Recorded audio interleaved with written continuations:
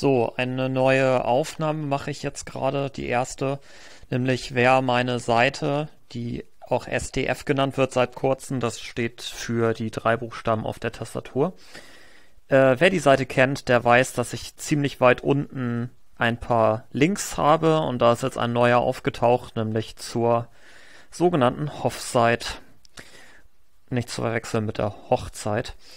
Und wie man hier sehen kann, habe ich gerade etwas Kopfschmerzen, weswegen ich mal ein bisschen mich beschäftigen muss und auch bald rausgehen muss. Aber das Wichtige ist, dass ich jetzt mal auf diese Seite reagieren muss. Denn schließlich ist das, was man zu tun hat, wenn Konkurrenz auftaucht irgendwo. Man muss sie in irgendeiner Art angreifen. Oder einfach nur zur Kenntnis nehmen. Das kann ja auch schon das sein, was hier notwendig ist. Was fällt mir bei dieser Seite auf? Also mir fällt als erstes auf, dass das Layout etwas merkwürdig aussieht. Also natürlich im Vergleich zu meinem perfekten Layout, dass wir zum Beispiel hier einen riesigen, oder ich fange mal oben an, dass wir hier ein Bild haben, was ich nicht so ganz identifizieren kann. Sieht aus nach Fliesen mit sehr ungeraden Fugen. Dann haben wir hier einen Titel auf Englisch, obwohl die Seite vermutlich auf Deutsch ist. Und dann haben wir hier wieder etwas Englisches. Also die Sprache ist nicht sehr eindeutig hier. Dann haben wir hier halt diesen großen grünen Bereich, der sich ziemlich weit erstreckt, mit einem Wink-Emoji. Der ist etwas zu allgemein. Wer meine Seite kennt, also natürlich jeder Mensch auf dieser Welt, weiß, dass ich hier keinerlei Grußbotschaften eingebaut habe. Der Grund ist ganz einfach. Was ist, wenn jetzt zum Beispiel ein Nazi meine Seite betritt? Dann würde ich den ja damit begrüßen. Und ähm, ja, da bin ich halt etwas vorsichtig bei sowas. Man weiß ja nicht, nachher gibt es irgendeinen Massenmörder oder sonstige Leute, die die Seite besuchen und dabei sich äh, begrüßt fühlen und das als Solidarität oder gar Aufforderung zu Gewalt verstehen. Ja, die Website ist online, das ist, ich weiß nicht, ob das ein Witz ist, weil wir schließlich ja die Seite hier sehen können. Ja, wem gehört diese Seite und gibt es hier etwas zu lesen? Also etwas zu sehen gibt es auf jeden Fall, wie man gerade sieht, aber ich werde mir die weiteren Unterseiten gleich noch ansehen. Erstmal zum Aufbau, dass wir hier einen Navigationsbereich oben haben, das finde ich sehr gut gelöst. Ich finde ein bisschen merkwürdig, dass die Projekte rechts stehen und der ganze Rest links. Äh, links. Das finde ich etwas uneinheitlich. Ich finde es schön, dass man hier so einen Effekt hat, wenn man rauf zeigt auf die Einträge. Sogar hier. Tja, äh, wo führt das dann hin, der Link? Sehe ich das hier? So, das wird bei dem Browser mir gar nicht angezeigt unten. Naja. Was haben wir hier? Ein zufälliges Herbstbild sehen wir. Das ist auch ganz äh, lustig, weil das, aber zum Hintergrund komme ich gleich zum technischen. Ach was, egal. Zum Hintergrund komme ich jetzt. Nämlich ist das in JavaScript gelöst worden. Was ich gut finde. JavaScript ist eine gute Technik, die man verwendet, wenn man ein guter Mensch ist. Ja, hier oben sehe ich gleich, was ich eben schon vermutet habe, nicht nur Stocktype groß geschrieben, was mich einfach nur nervt, sondern hier oben ist angegeben, dass die Sprache auf Englisch sei, was nicht so ganz der Fall ist, wie wir sehen können. Also dann muss ich wohl eine kleine Nachhilfe in HTML hier kurz geben. Lenk ist eine Abkürzung für Language und das soll bezeichnen, in welcher Sprache das Dokument verfasst ist. Dann haben wir eine Style Sheet und ich muss mir nicht alles genau angucken oder beschreiben. Hier haben wir ein Countdown-Datum, das nicht mehr verwendet wird. Das stand für das hier, und das erklärt jetzt auch, warum hier steht, dass die Webseite online ist. Ich gehe davon aus, dass das ein Counter ist, der angeben sollte, bis wann, wie lang es dauert, bis die Website online ist. Vielleicht, weil die auf irgendwelchen Demonstrationplattformen vorher gehostet war. Den hätte man dann vielleicht wieder rausnehmen können, aber naja, das wäre zu viel verlangt. Was haben wir dann noch hier? Ja, hier ist der Teil, wo die Bilder ausgewählt werden. Hier haben wir eine Liste mit Bild-URLs und hier ist dann ein Code, der eins dieser Bilder auswählt und dann hier über einem leicht merkwürdiges Verfahren ein HTML-Code einfügt. Das Ganze hätte ich über Document Write gemacht. Das wäre dann inline gewesen, ohne irgendwelche Elemente im Nachhinein modifizieren zu müssen. Oder man, ach egal. Ähm, ja, hier unten sind wieder andere Sachen. Ach so, wie haben wir Buttons? Leere Buttons, in denen nichts drin steht. Merkwürdig. Wo sind denn diese Buttons? Ach so. Ah, ich verstehe. Das sollen Links, äh, Pseudo-Links sein, auf denen potenzielle Besucher raufklicken wollen, um dann verarscht zu werden. Das ist ein, eine lustige Idee. Das finde ich sehr merkwürdig, den linken Button hier, weil da ja gar nichts drin steht. Nerven, Nerven, Nerven. Ich verstehe nicht ganz, was der Witz dabei sein soll. Es gibt wahrscheinlich einen. Ich habe, bevor ich mir den Code jetzt angeguckt habe, mich schon geärgert über den dritten Button. Aber jetzt wissen wir, dass gar nichts wirklich passt. Ach Mist, es passiert doch etwas. Schnell wieder zurück. Ich habe keine Lust mehr, YouTube-Videos anzugucken. Das finde ich jetzt doof, dass da nicht auch ein, eine Verarschungsnachricht kommt, sondern man auf ein Video umgeleitet wird. Auch wenn das vielleicht ja ein Verarschungsvideo ist, aber das fand ich nicht schön. Dass da ein Katzensymbol drin ist, finde ich auch noch nerviger und dass Punkte in den Buttons drin sind, finde ich auch nervig. Aber egal, ich werde erstmal weitermachen.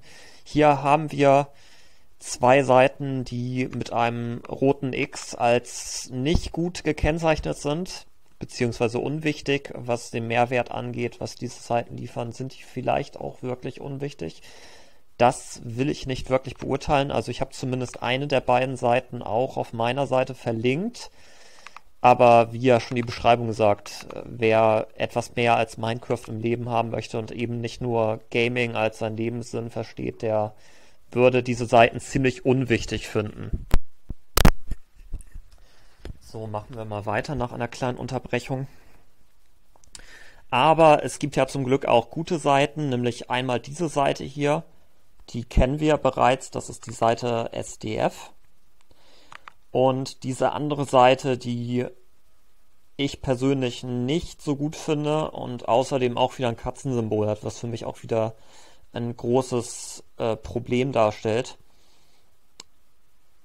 Die Seite war auch, meine ich, nicht so gut. Aber naja, die Seite jedenfalls ist gut und das äh, finde ich sehr gut, dass diese Seite in dieser Weise hier verlinkt wird. Dann haben wir ein GitHub-Profil, auf dem wir diese, den Quelltext dieser Seite finden, meine ich. Ein YouTube-Kanal, auf dem es keine Inhalte gibt, kennt man. Und das ist egal. Äh, ach ja, ganz kurz, Hoff Alex Company, das finde ich etwas merkwürdig, dass wir hier einen äh, äh, nach äh, Jurist, äh, juristischen Text anmutenden äh, Text haben aber dann eine Company verzeichnet ist, die meine ich nicht wirklich existiert. Ich kann ja mal kurz gucken, aber ich bin ziemlich sicher, dass es keine Hoff Alex Company gibt. Und wenn das nämlich der Fall ist, dass es diese Seite nicht gibt, werde ich natürlich gleich eine Anzeige sofort aufgeben. Es sieht sehr danach aus, dass es diese Seite nicht gibt. Ich will mich also jetzt hiermit schon mal vorsichtshalber distanzieren von dieser Betrügerseite. Also bitte bitte öffnet nicht diese Seite und klickt hier auch nicht auf irgendwelche Links, weil man weiß ja nicht, vielleicht wird man irgendwie abgezockt oder ja, irgendetwas anderes, betrügerisches, äh, auf das man dann gebracht wird, unabsichtlich. Dann haben wir hier eine Rubrik, die Blog heißt ja eher eine Zeitung. Da bin ich jetzt gespannt, ob es wirklich eher eine Zeitung ist, weil eine Zeitung hat normalerweise mehr als nur einen einzigen Text. Mal gucken. Ah, jetzt haben wir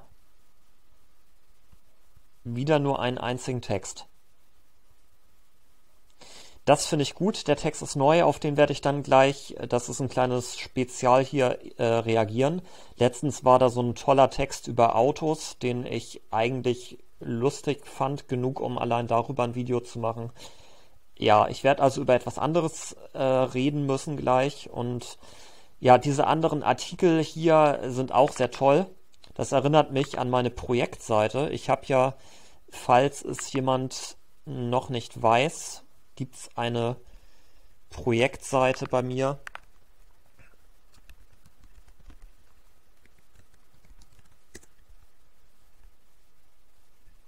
Ja, also so sieht meine Projektseite aus, äh, meine echte Projektseite. Und an die habe ich mich etwas erinnert gefühlt, als ich diese Artikel hier gesehen habe. Aber ich gehe mal davon aus, dass es ein Platzhalter ist und später noch weitere Artikel folgen. Ein bisschen schade, dass der Artikel, der vorher da war, jetzt nicht mehr da ist. Aber ja, dann war der vielleicht auch wirklich nicht gut. Ich möchte jetzt mal diesen Artikel mir durchlesen. Ah, Knoten 2. Dann möchte ich erstmal gucken, was passiert, wenn ich Knoten 1 eingebe. Das ist einfach meine natürliche Neugier. Vielleicht existiert ja noch. Ach so. Gut, also der andere Artikel existiert nicht mehr, das ist gut. Ähm, auch, dass wir hier wieder im Rechtsbereich sind, ist äh, sehr schön, das zu sehen. Also es gibt hier eine Aufforderung, hier jemanden zu wählen und Leute zu wählen. Das finde ich ganz äh, akzeptabel und ich finde auch gut, dass hier Inhalte stehen. Ich will jetzt nicht weiter auf den Inhalt hier eingehen. Ich möchte jetzt einfach wieder zurück zur Seite gehen, weil der Artikel vermutlich doch nicht so lustig ist, wie ich gedacht habe. Hier haben wir einen Empfehlungsartikel, in dem man keine Empfehlung bekommt oder wenige Empfehlungen bekommt. Es kann gut sein, dass es eine gute Empfehlung ist. Ich weiß es nicht mehr genau. Dann gibt es noch einen Artikel Ich selbst. Ich möchte auf diesen Artikel nicht zu viel eingehen, aber ich möchte auf einen kleinen ähm, Fehler hinweisen, den ich gefunden habe. Nämlich gibt es hier unten irgendwo die, äh, ach ja, einmal ganz lustig fand ich, dass es hier die Aufzählung von äh, Brüdern und Schwestern, was man übrigens auch, kleiner Deutschtipp, als Geschwister bezeichnen kann, gibt. Allerdings gibt es ja auch eine Anzahl an Thekenschalen, das fand ich äh, hilarious, wie man auf Englisch so schön sagt. Und hier unten steht dann noch bei Preise und Auszeichnung Mathe, Leerzeichen, im, Leerzeichen, Advent, Leerzeichen, Gewinner. Und das hat mich daran erinnert, dass man vielleicht nicht nur bei Mathe im Advent, was ja schon mal was ist, mitmachen sollte, sondern man hätte vielleicht auch beim Grammatik im Grammatik an Ostern hätte man vielleicht auch mach, mitmachen können. Also wenn es das nicht gibt, den, äh, diesen Verein, muss ich den vielleicht einführen. Da könnte man vielleicht auch mal mitmachen. Ja, hier haben wir noch eine Freundesskala, die ich äh, etwas gemein finde für LS, weil wie man sehen kann, ist LS gar nicht mehr in der Skala drin. Also wer auch immer das ist, tut mir leicht leid dafür, nicht mehr in der Skala enthalten zu sein. Das heißt vielleicht, dass es ein Erzfeind ist. Das wissen wir jetzt nicht so genau ja, hier ist wieder die Lieblingsmusik und die Lieblingsfilme. Die sind identisch mit der Seite vorher, nur halt, dass bei Filme vielleicht dieser Anstaltseintrag noch zu erwähnen wäre. Übrigens ein kleiner technischer Hinweis, was hier gut umgesetzt wurde. Technisch weiß ich nicht, aber auf jeden Fall praktisch, dass wir hier den gleichen Footer auf jeder Seite haben und nicht wie auf manchen anderen Seiten, die ich jetzt hier nicht erwähnen möchte, verschiedene Footer auf verschiedenen Seiten haben. Und das wurde mit einem Frame gemacht wahrscheinlich denke ich jetzt mal. Also ich gehe davon aus, dass derjenige, der das gemacht hat, wir sehen es auch an dem grauen Rahmen hier ein bisschen, dass der schlau genug war, nicht den Footer zu kopieren auf jeder Seite, weil das wäre sehr aufwendig, wenn man dann irgendwas verändern möchte im Footer, dann muss man jede einzelne Seite bearbeiten, das ist dann sehr nervig. Jetzt möchte ich noch mal ganz kurz in den Quelltext reingucken, weil es garantiert auch hier irgendetwas anzumerken gibt. Das Schöne an der Quelltextansicht ist, dass wir gleich Fehler in Rot hervorgehoben haben, bekommen. Und hier ist es rot. Irgendetwas ist rot. Ja, das ist der Fehler.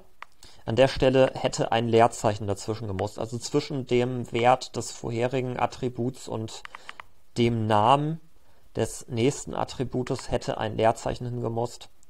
Das sollte man wissen eigentlich. Es ist schade, dass jetzt derjenige, der das hier gemacht hat, das nicht bemerkt hat.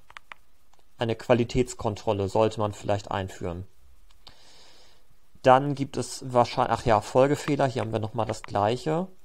Dann gibt es höchstwahrscheinlich noch irgendwo anders Fehler, die man hier erkennen kann. Hier finde ich bestimmt noch einen Fehler.